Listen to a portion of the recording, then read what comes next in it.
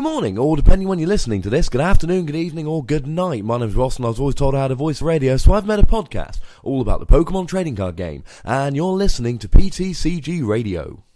Now, I'm hoping this week that you can hear something a little bit different, and I'm hoping it is good different. I have upgraded my audio setup just a little bit, so consider this a bit of a test podcast.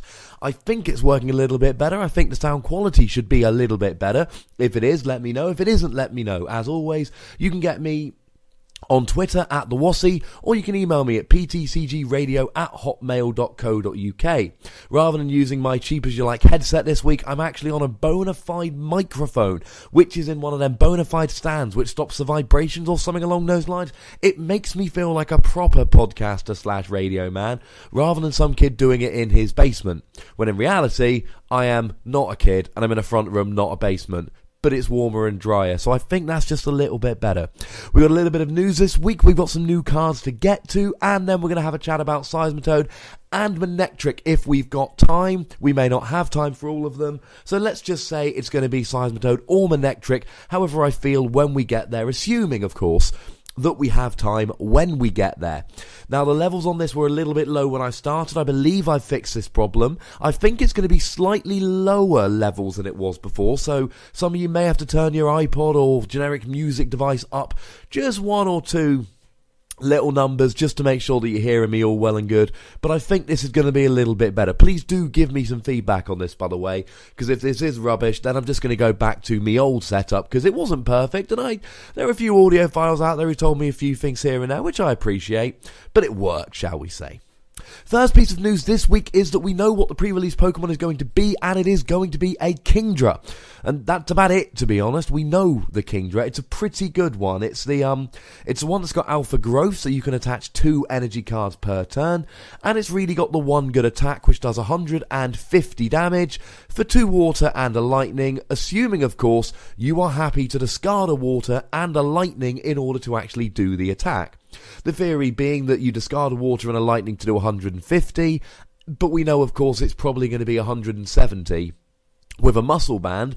And in reality, with this being a non EX, you can pop a silver bangle on there, and it's going to be doing 180, which, as we know, will one hit KO any non water resistant non mega EXs. So it wouldn't work against something like. Um, uh, Virizion, for instance, even if you had a silver bangle, because the resistance would bring it down to 160, and Virizion, of course, has 170 HP. Bit of a shame, but hey ho, that's what you can do.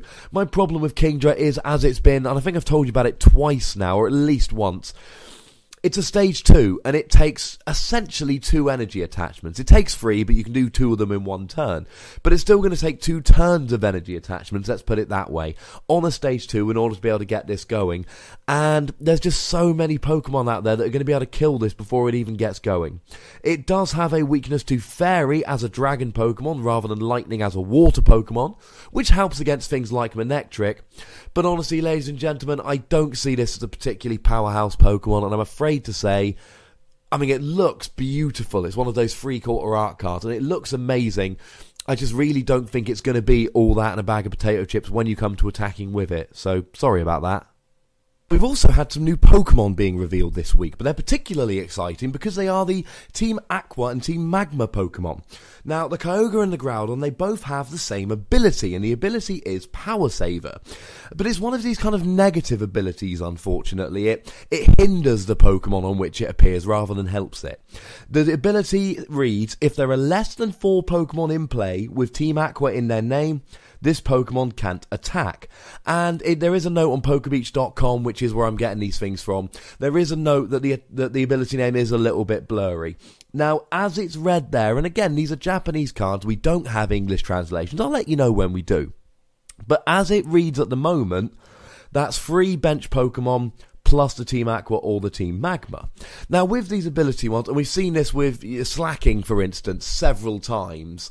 Um, so it's really not kind of all that in a bag of potato chips. You, you, you, sorry, I keep using that phrase. That's twice now. I will not use that phrase again on this podcast. But essentially, you would imagine, oh, they've got this negative ability. They must be hella good. And, I mean, Slaking never is.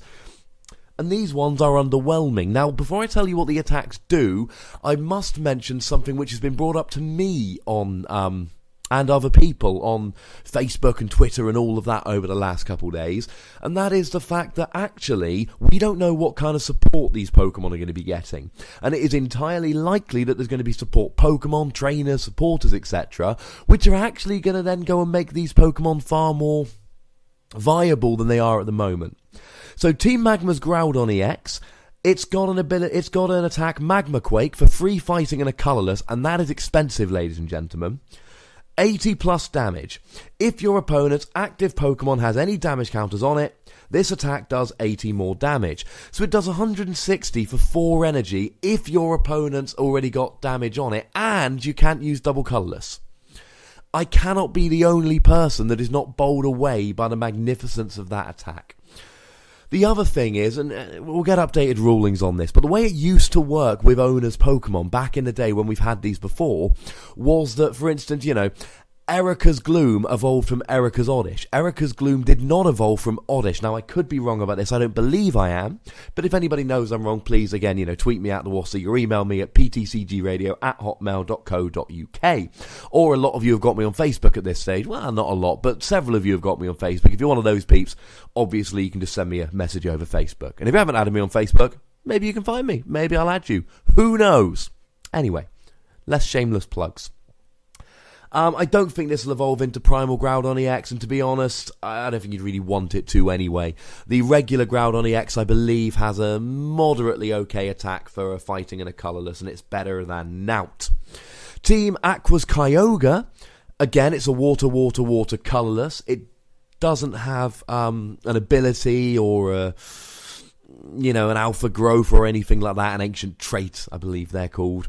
Free water and a colourless energy, 80 damage, plus 20 damage for each colourless cost in your opponent's retreat cost. So against something like a Donphan, yeah, that would be awesome, but it's already hitting Donphan for one hit with weakness. So I don't really know what you're going to want to use this against. It's easily countered. It's countered by Floatstone because Floatstone reduces the retreat cost to zero. So you can't really use it against anything that's got Floatstone on. You can't use it against anything with a low retreat cost. You can't use it if there aren't three other um, Team Aqua Pokemon in play, and maybe, you know, even with all of that, if the attack was spectacular, maybe, but it isn't, and I don't think it can evolve, Mega Evolve into Primal Kyogre EX, which is what you're going to be wanting to use anyway, so, um, I mean, I really would love to go with this, it's, it's just not on the card, it's not a particularly good card, I can only apologise for that, but, you know, I didn't make the card, so maybe I shouldn't be apologising, maybe you should be apologising to me. Moving on, there are two other cards which were spoiled literally right as I went to start recording this podcast today. Team Magma's Camerupt, and it evolves from Team Magma's Numel, not regular Numel. Just, you know, I think that's something that's worth pointing out. It's got an ability Burn Draft, which is kind of a cool ability. Once during your turn, before you attack, you may choose one fighting or dark energy card from your discard pile and attach it to your Pokemon. So it's got built in energy acceleration, and we all know, we should know, that built in energy acceleration is fantastic and spectacular, and we love it. We like built in energy acceleration, this is good. It's got one attack though, and it's not it's alright, actually, it's alright. Because you attack for a fire and a double colourless. What this means is you can use the ability to get the fire energy on him, then you use a double colourless as your energy attachment for the turn, and you're getting him going in one turn, and that's pretty cool you know, I mean, I've made this clear on the podcast before. I'm a big fan of Pokemon that can go from zero to attacking in one turn. Whether that's something like this that uses the ability and a double colorless energy, whether it's the new Excadrill that can attach two energy in one turn to get going, or whether it's something like a Landorus or a Dugtrio which attaches for a single energy. I like Pokemon that can get going in one turn. It's one of my big knocks on Kingdra. It can't do that, whereas a lot of other kind of equivalent Pokemon maybe could. Now, the attack does 60 damage, and you move a basic energy attached to this Pokemon to one of your benched Pokemon. Now, it's got 110 HP and a weakness to water. It's not amazing. But the theory with um, Team Magma's Camerupt would essentially be you attach a 5 from the discard pile and a double colourless, and you can attach a dark, but you probably wouldn't because you want to get going in one turn. You attach a fire from the discard pile to Team Magma's Camerupt. Then you pop a double colorless on. You do the attack for 60 and you move the fire energy to a benched Pokemon, maybe a Charizard or a Pyroar or something like that. Then next turn you attach another energy from the discard pile to Camerupt, which then gets popped onto your bench, but then you're essentially attaching an energy to Camerupt and then onto your bench when you attack, and you've still got your energy attachment for the turn that you can use as well, which of course, pretty gosh darn useful. So it's essentially giving you two energy attachments per turn with the added bonus that if Camerupt gets knocked out, you don't lose that energy because the energy is going to your bench Pokemon. So I can see a use for this. It only does 60 damage. Now, it is a fire Pokemon, so you stick a Silver Bangle on this baby, and you are one hit KOing Virizion or Genesect. So I can see this as a nice as a nice card in a fire deck. Now you really need to put something like a muscle band or a silver bangle. Then if nothing else, you're two hit KOing whatever your opponent throws at you, or one hit KOing if it's grass, or three hit KOing if it's a Mega EX. But they're not that well played, so we're going to leave that for a second. There is potential for this Camerupt. I like the attack. I like the fact that it basically gives you two energy attachments per turn and conserves the energy, kind of like um, Tornadus from Emerging Powers, which is actually still in the format after its Legendary Treasures reprint, but hasn't really seen play since CMT um, went to Tornadus EX, which was even before it got rotated out. Celebi did. The other card we've got is Team Aqua Sharpedo, which again has an ability and a pretty nice ability. Once during your turn, you may search your deck for a Pokemon with Team Aqua in its name, show it to your opponent, and put it in your hand. This is a Dark Sharpedo, not a Water Sharpedo. Shuffle your deck afterwards. And again, this may be inaccurate because the text is hard to make out. The attack does 70 for a dark and double colorless, so it's not a very efficient attacker. I see this as more of a support Pokemon. It's universal Pokemon search from an ability, which I think we can all agree is pretty gosh darn tasty. I like it, it's good. It's not perfect by any stretch of the imagination, but it's pretty cool. It allows you to, um, you know, it allows you to set up. It's a stage one, so you can get this going on turn two we need better Team Aqua Pokemon. The only Team Aqua Pokemon we've seen are Team Aqua's Kyogre EX and Team Aqua's Sharpedo, neither of which I'd want to attack with. But if we can find some more Team Aqua Pokemon, which I do want to attack with, I think this could start being a pretty tasty card pretty gosh darn quickly. And that, ladies and gentlemen, is the news for this week. Now, the other thing I wanted to talk about today, really the focus of this podcast, I suppose, is Seismitoad. Now, Seismitoad has been around for a little while now. I'm sure most of you are familiar with Seismitoad. But what's interesting me with Seismitoad at the moment is the sheer variety of ways to play it. But not just a variety of ways to play it. I mean, we're in City Championship season at the moment. Now, I am uh, obviously, you know, I'm going to try and find a collation of City Championship results, and you know, maybe next week we'll go through a little bit of a what's winning at City so far. But what I've been doing instead so far is not really looking at which decks are the winningest. I mean, spoiler alert: it's Yveltal, it's Seismitoad, it's Virizion Genesect. I mean, they are the big ones. They will continue to be. There's a bit of Pyro, there's a bit of Aromatisse. There are some Electric decks flying around. But what's interesting me is I've got a lot of Pokemon stuff on my Facebook, a lot of Pokemon friends and Pokemon groups and all of that. And the reason I have all this on my Facebook is my feed turns into kind of about 20% what my friends are up to and 80% what's going on in Pokemon. This is from tournament winning decks to ideas to deck lists, and a lot of it's, I'm not going to lie, a lot of it's rubbish.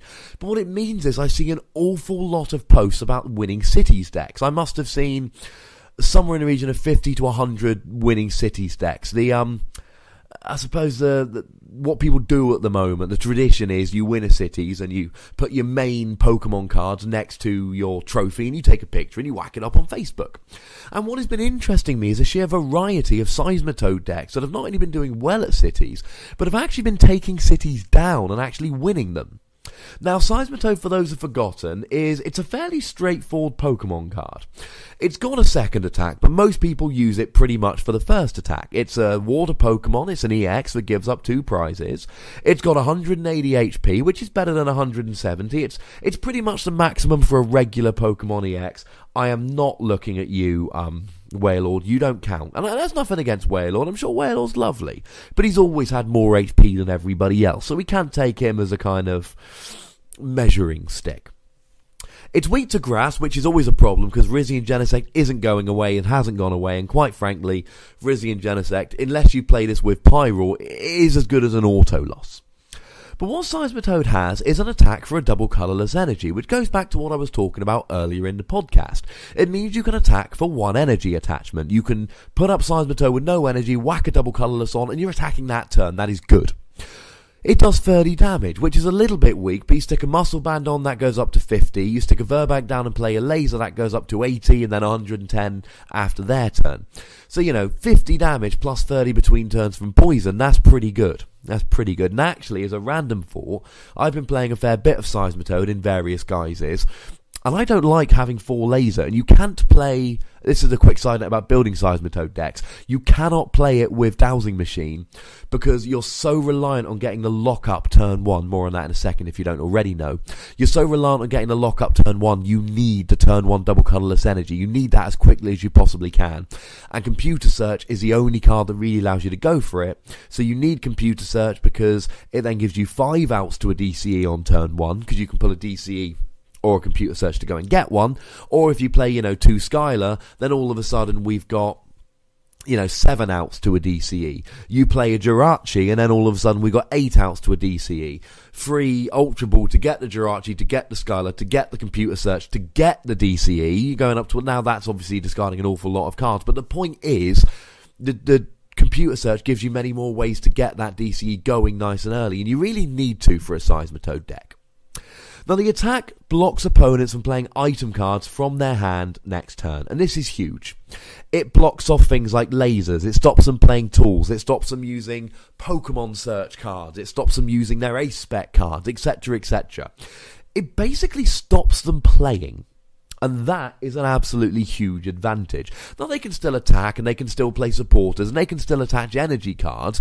But for instance, you're playing against a metal deck, you play a Lysandre, you grab up their Bronzong. Oh, you've got a retreat cost of, I think it's free.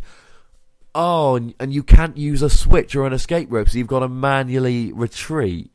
And I'm going to use Enhanced Hammer to get rid of any DCE you put on. Yeah, it, it's it's not going to go terribly well for them, and that's that's what Seismitoad does. But that's, you know, that's not your whole deck. You need something else. Now, the classic Seismitoad list, what most people have been playing with traditionally is Garbodor. And Garbodor blocks abilities, and hopefully you can see where this deck is going at this stage. You play Seismitoad to block trainers, you play Garbodor to block abilities, and then your opponent can't play trainers, they can't play abilities, they can just attach, attack, and use supporters. Something like go back to a metal deck. Not only can they not use trainers, they can't use Bronzong to um, uh, accelerate energy. Oh yeah, and because I've got Garbodor out, my opponent, if they're relying on abilities like a metal deck, they're going to want to use Startling Megaphone. Oh, but you can't because I've locked you from playing trainers. So my Garbodor is going to stay out. And traditionally, everybody's going to Lysandre up that Garbodor and try and kill it, which is fine because I'm either just going to retreat it with the Float Stone or maybe if they kill it, but I'm slowing the game down, so I'm going to be setting up two Garbodor. And that's a classic way to play it. And some people choose to play it just like this. And I've seen a bunch of people have success playing it just like this. But the reality is, um, it doesn't really do all that much against a lot of decks. So let's say an Yveltal deck. And if an Yveltal deck comes out and it piles a bunch of energy on, and I speak as someone who's played this deck several times in tournaments as well, it's really scary. It's incredibly scary. Because if they can be X-balling you for a one-hit KO, there's nothing you can do. You are not going to KO that Yveltal. Now, Seismitoad has a second attack, Grenade Hammer for 130 damage, and of course with a Muscle Band Virbank Laser that goes up to 180 and gets your one-hit KO. It does do 30 damage to two of your bench Pokemon, so that is something to watch. Now, the problem is that that takes free energy attachments, a grass, a grass, and a colourless. Uh, excuse me, a water, water colourless. So either free water or two water and a double colourless. And that's... My opponent is going to be able to two-hit KO me with X-Ball, uh, Evil Ball, before I've got that going. And I can lock them and I can hit heads on laser and they can hit tails and blah blah blah. But it's a precarious position. So if I put another attacker in there, then I have to break the lock and that's a problem. I think, to be honest, one of the biggest pieces of skill in playing a Seismitoad deck is knowing when to break the lock. I played in a mirror match the other day against Seismitoad, and I had the better start. You want to be playing Head Ringer, which makes their EXs attach one more energy to um to attack. And I'd got going, I'd put a Head Ringer on him, I'd got my muscle band down, I had the lock, and I was going quite nicely. And I was playing on PTCGO, and I, I was being a little bit gung ho and what I did was I broke the lock to Grenade Hammer to get an early KO. At which point, my opponent used Enhanced Hammer to get rid of my DCE, Startling Megaphone to get rid of my Muscle Band, popped a Head Ringer on me, so now I couldn't even use Quaking Punch because it would take free energy to use it, and I could only attach a double colorless energy in one turn. Ah, I played a laser to put me asleep, etc., etc. I broke the lock too early, and then I just carried on like I was. I was going to win that game. I got greedy. I tried to accelerate my victory, and that was silly because I lost it. You know, and it wasn't even close. Because then my opponent did exactly what I should have been doing all the way along. And if you play other attackers, you break the lock. If I attack with anything else, my opponent is going to get trainers back, and that can be a problem. So there is a little bit of skill involved. However, if my opponent is going to be, you know, attacking with an Yveltal and killing me, then I, it doesn't matter about the lock. I've lost the game. If my opponent brings out something like a Virizion or a Genesect and is one hit KOing my Seismitoad, a lot of Virizion decks now playing, um, you know, things like Deoxys and um, Plasma Badge. Not a lot, but a few of them. And then they can one hit KO a Seismitoad using um, uh, Emerald Slash. So in those kind of situations, I, I need another attacker. Now, one which has seen a little bit of play is Charizard. Charizard for free energy does 60 damage, and it's free colorless energy, so water and a double colorless will do it nicely. And then you can do 120 damage to a Virizion or a Genesect, but in reality, you pop a muscle band on there, you're doing 160, and then you play a laser and you win. And yes, I am aware, ladies and gentlemen, that lasers don't work against Virizion, but do bear in mind that we're playing Garbodor. Or we can play a laser on turn one of the game to bring them down by even 10 damage before they attach a grass and Virizion's ability pops in and gets rid of the, um, the poison. But it's still with enough time that they can have 10 damage on, and then I can one hit KO that Virizion. But that's not the biggest tech. There are three kind of things you can really play with Seismitoad, which is seeing a lot of play in terms of other attackers. Number one, Pyroar. This is a deck which has seen, you know, quite a lot of play in the past, and essentially the theory is twofold. On the one hand, Seismitoad's a powerful deck that's going to beat most stuff. Oh, it doesn't beat Virizion and Genesect. Good news is Pyroar does. There we go. Pyroar takes care of Virizion and Genesect. That's my worst matchup out the way. The other theory is, heck, if I'm going to lock them, let's lock them. I can either use Pyroar's ability to stop them attacking with basic Pokemon, auto wins against stuff like Plasma, and it's it's really good against Yveltal, etc., etc., or I can just lock them with Seismitoad. If I come across something like Metal, oh, I'm not going to be able to beat this Metal. Hang on a second, Pyroar's going to run straight through it. Life is good. So you know, there's a, there's a lot of uses for Pyroar there. It can be kind of a kind of like a pick your poison lock. Either I'm going to lock you out of basic Pokemon, or I'm going to lock you out of trainers. Either way, yo screwed. The other thing that we can do with Seismitoad here is, um, you know, like I say, just play Seismitoad and, you know, if you come across Rizzy and Genesect, well, there we go, you've got an answer to it. Now, one guy that sees play as an alternate attacker here, and he's really been seeing play with Seismitoad since the very beginning, and, you know, hardly surprising, he's seen play in an awful lot of decks, and that's Mewtwo. Mewtwo has X-Ball, uh, it does 20 damage times the amount of energy attached to both active Pokemon for a double colorless. So something like Yveltal starts building up a big evil ball, that's okay, I can KO it with Mewtwo.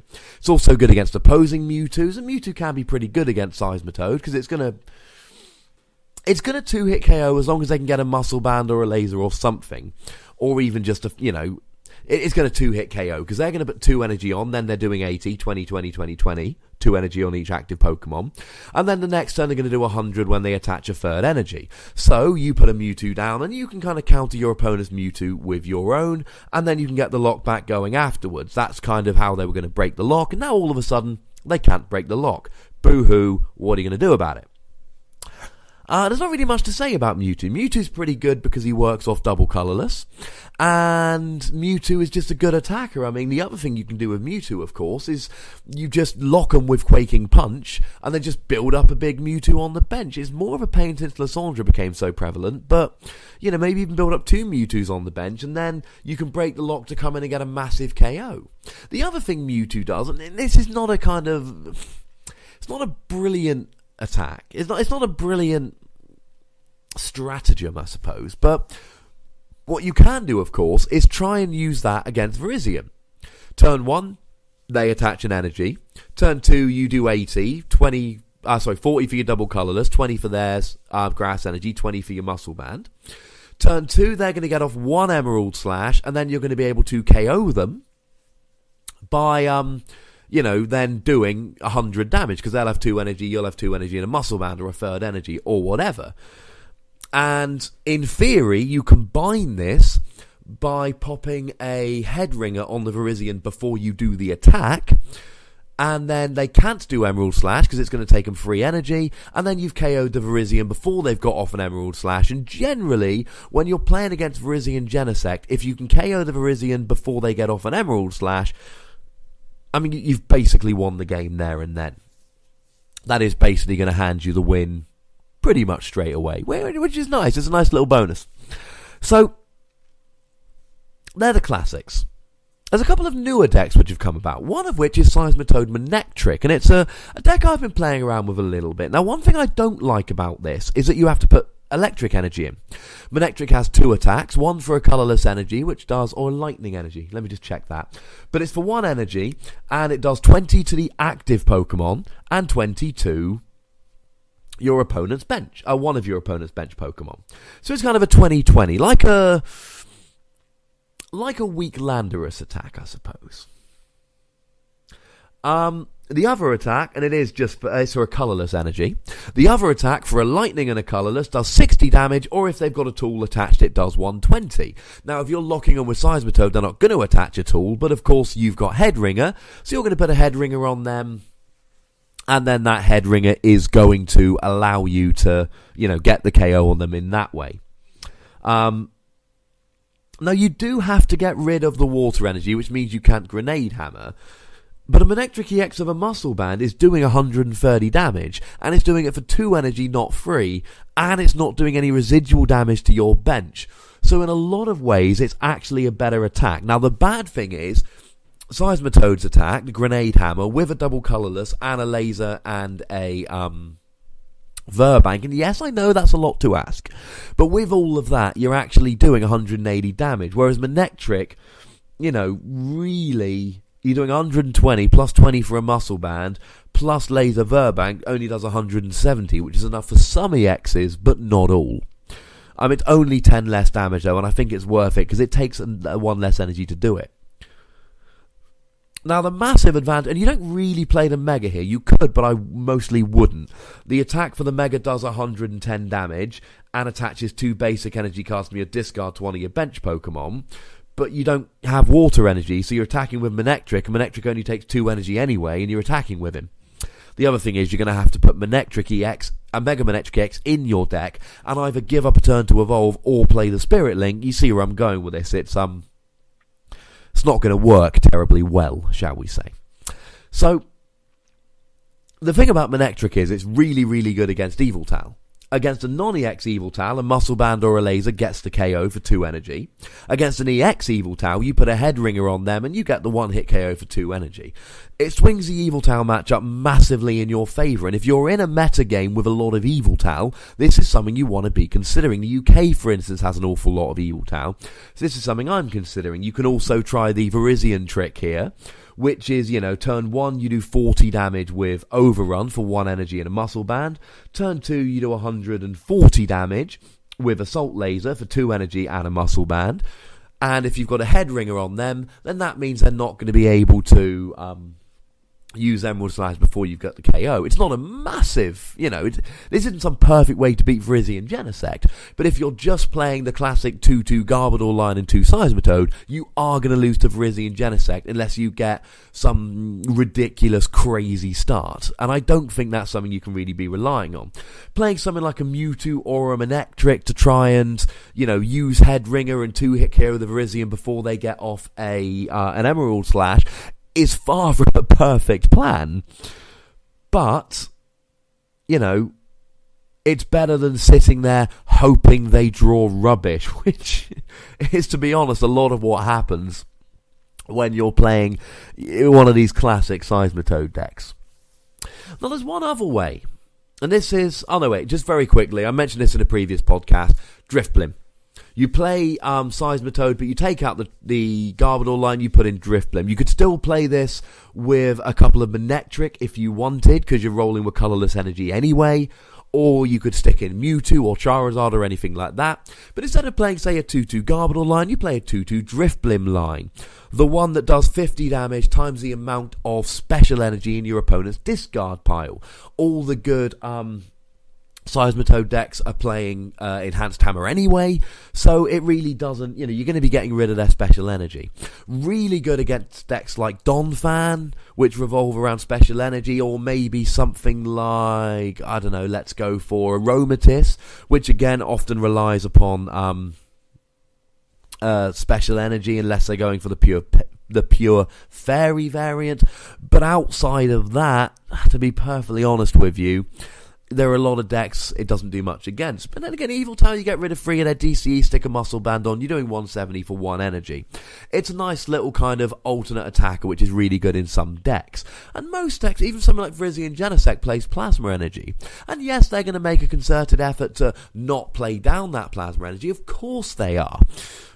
But they might have to Juniper it, or they might have to lay it down and hope you don't have an enhanced hammer. Now the other way to play it, and I'm, I, I don't I don't know if I can get on board with this deck or not, but it's been seeing an awful lot of success at cities, and I've heard of several people winning with it. It's Seismitoad Slurpluff. Now it's Slurpluff from Phantom Forces, and if you've not heard of this deck, and I've t- I did tell you about this when I went through my Phantom Forces roundup, but if you haven't kind of heard about this deck, you've probably forgotten what Slurpluff does. It's got one attack for a fairy and a double colorless, and spoiler alert, we ain't using that attack, we ain't putting fairy energy into our deck. But it's got an ability called Tasting. Once during your turn, before you attack, you may draw a card. If this Pokemon is your active Pokemon, draw one more card. So, you know, anytime anything gets knocked out, you put it active and draw two cards. And the theory here is you just play Seismitoad Slurpuff.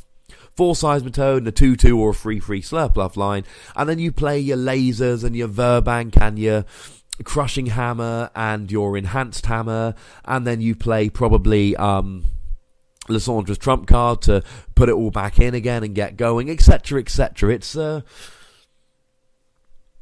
it's a really quite interesting card.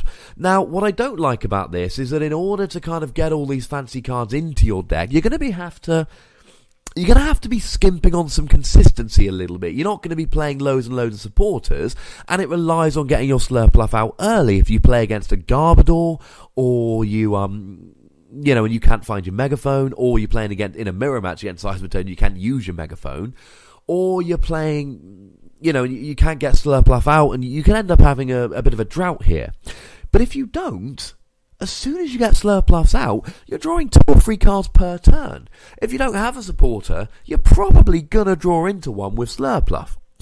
And essentially, what you do here is you give yourself options: crushing hammer, enhanced hammer, laser, you can even play things like, you know, Team Flare Grunt to discard an energy attached to the active and a bunch of VS Seeker. You're going to play a bunch of Lysandre and VS Seeker. And like I say, you'll probably play Lysandre's trump card because you don't really need to kind of keep the special energy off. You're just trying to slow them down and waste energy attachments. So you get rid of their energy and then you recycle all of your hammers. Yeah, they get their energy back, but you get your hammers back and you're slowing them down. It's an interesting deck. It's an imaginative deck, and it's one which I. The only reason I don't like it is because of potential lack of early game consistency. Because if you're playing all the text and you're playing Slurpluff, you're probably skimping somewhere on supporters and stuff like that. But having said that, to be perfectly honest with you, do you really need much more than that? I would argue not. So that's Slurpluff and Seismitoad. It's a pretty interesting little deck. And I think we're going to leave Manectric till next week at this stage. I've told you about some uh, some of the, the first kind of released Team Aqua and Team Magma Pokemon, and we've had a good discussion about Seismitoad and all its possible partners. Manectric, um, Mewtwo, Charizard, Garbodor, Slurpluff, Drifblim, Pyroar, etc., etc. I'm currently testing a bunch of Seismitoad lists. I can't find a deck I like this format. So I've decided to just go with Seismitoad. The problem is I can't decide between a really straightforward Seismitoad Garbodor, or Seismitoad Drifblim, or Seismitoad Garbodor Manectric, or Seismitoad Pyroar.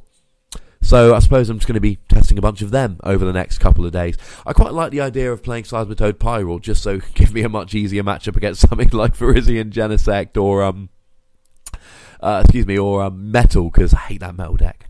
Haven't beaten it yet. Only played it once. Rage quit. We've heard that story.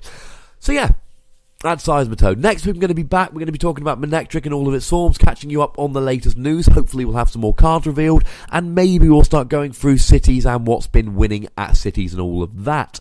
I know my YouTube has been a little bit neglected over the last couple of weeks. Uh, that's been because of all of my technical problems. They are now getting sorted out, so hopefully we'll have more on that in the future. I am hoping this podcast audio quality has been slightly better than usual. Instead of using a cheap kind of 15, 20 quid headset, I'm using an 80 pound microphone I borrowed from work. I'm hoping that's given me a better quality of audio sound. It might be an air ever so slightly quieter, but that's probably going to be a good thing because we're no longer kind of reaching the limits of the file like we were before. Clipping, I believe they call it. Anyway, let me know what you thought about the audio quality. Make sure you tweet me at the Wossy, email me at ptcgradio at hotmail.co.uk, and if you have not done so already, subscribe to me on YouTube. Just search for PTCG Radio on YouTube or Google PTCG Radio YouTube. You'll find it very, very easily. Subscribe, watch the videos, like, comment, all of that good stuff. As always, thank you very much for listening. Look after yourselves till next week. My name's Ross, and you've been listening to PTCG Radio.